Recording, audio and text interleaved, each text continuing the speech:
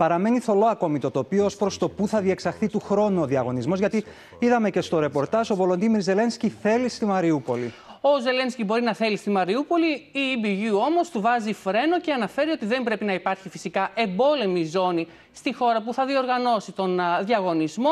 Έτσι λοιπόν πηγαίνουμε σε πιθανά σενάρια. Πρώτο σενάριο παραμένει η Μαριούπολη, εφόσον το θέλει η διοργανώτρια χώρα. Όμως συνεχίζουμε με το δεύτερο πιθανό σενάριο και είναι φυσικά η Μεγάλη Βρετανία, το Ηνωμένο Βασίλειο, για τον λόγο ότι ήρθε δεύτερη στον βαθμολογικό πίνακα της Eurovision. Άρα θα της γίνει και επίσημα πρόταση, αν δεν μπορεί να διοργανώσει η Ουκρανία ε, τον διαγωνισμό, θα γίνει πρόταση για το Λονδίνο 2023.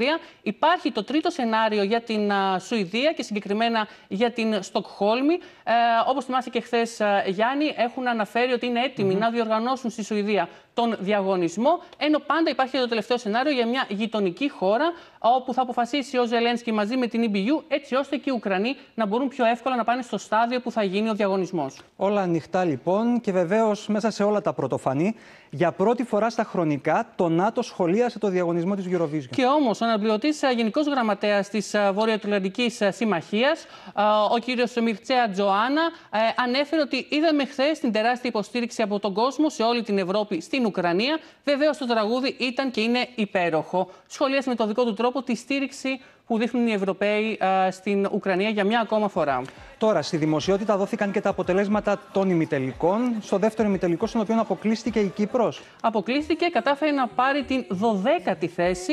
Έχω να σου πω ότι το κοινό την έφερε στην 8η θέση, άρα θα τη βλέπαμε στον τελικό. Όμως, οι κριτικές επιτροπές των χωρών την έφεραν στην τελευταία θέση και δεν κατάφερε λοιπόν να πάρει το εισιτήριο. Μόλις τρεις χώρες από τις κριτικές επιτροπές ψήφισαν ε, την ε, Κύπρο μας και ήταν η Ιρλανδία, η Σουηδία και το Ισραήλ. Όλες οι άλλες μηδέν στο πηλίκο. Και κάτι άλλο που δεν γνωρίζουμε, Κώστα, για να κλείσουμε με αυτό. Το κυπριακό κοινό, το κυπριακό τηλεοπτικό κοινό που έδωσε χθες βράδυ το 12 του. Δεν το έδωσε. Στην Ελλάδα 12 βαθμούς οι Κύπροι δώσανε στην Ουκρανία στέλνοντας ένα ηχηρό μήνυμα αλληλεγγύης. Μάλιστα. Κώστα, ευχαριστώ. Καλή συνέχεια. Και να περάσουμε στα τερτύπια του καιρού, καθώς από την καλοκαιρία